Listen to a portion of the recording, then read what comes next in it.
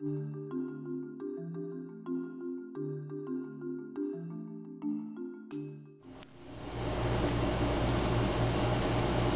so here we have a demonstration of the power that can be produced by a microbial fuel cell.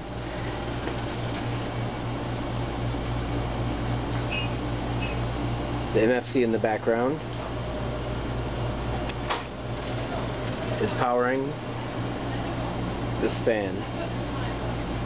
Cathode layered on nickel mesh um, with a Teflon coating I believe. Oh, it's Teflon coating. Yeah, I, I mean, it looks like it.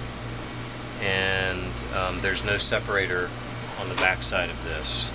These are mesh collectors that are sticking up from the cathode. So the whole thing is wired together, and there's two cathodes, one on each side. All right.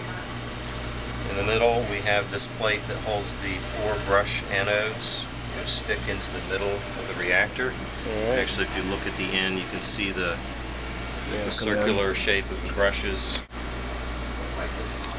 and uh, so the all the anodes are connected together so that they function as a single unit. Cathodes are also wired together so they function as a single unit. And we have right now um, a resistor box uh, setting a resistance between the anode and cathode, um, an external resistance of 500 ohms. Uh, these are the feed syringes it's a Luer lock connection and um, so I can use both syringes to add inoculum or feed the reactor with acetate or other substrate, typically it's acetate. We also have these two reference electrodes. Um, one is used for the anode and one is used for the cathode so we can monitor the voltage independently and also measure the whole cell voltage. So we have three data channels collecting voltage simultaneously.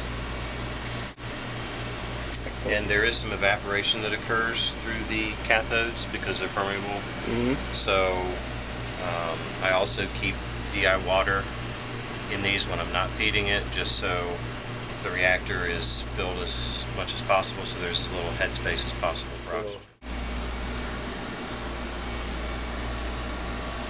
and the internal volume is approximately 2 liters. So this is one of our scale-up projects and one that is intended to power a fan or a bank of lights so we can demonstrate the production of power.